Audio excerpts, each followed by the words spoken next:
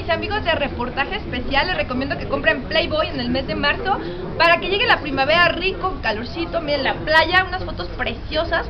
Cómprenla, además hay muy, muy buenos reportajes y aquí estoy yo, su servidora Jacqueline Arroyo. Espero les guste mucho y la compren y la tengan en su colección.